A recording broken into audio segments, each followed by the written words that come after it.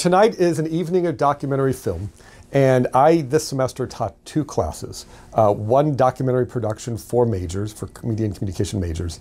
The other one was actually a core 4990 class, which is a required core class for everyone in the school um, where they do something uh, interfacing with the community. And there's lots of different topics, lots of different ways to approach that.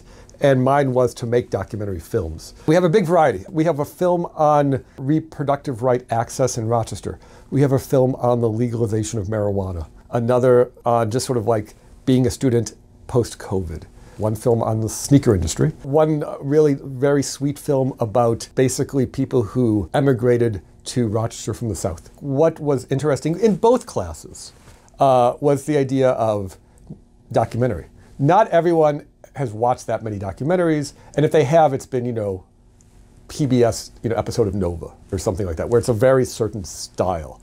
And so one of the things that I did in both classes, where this wasn't a film studies class, we couldn't spend a huge amount of time just watching film after film, but I did not only show them films, but I purposely picked short films to say like, okay, here was a very simple 10 minute film about one individual. Why did we find it fascinating? One of the th- ideas we talked about is yes, these films are based around things going on in Rochester. But what will make some of these films even more interesting is that they can pertain to any city. That we're making films that have bigger themes, um, and we're using just Rochester as the location in this case. And sort of those sort of steps of thinking more broadly, uh, uh, I think were very important in sort of people, again, thinking about um, what is an important story to tell.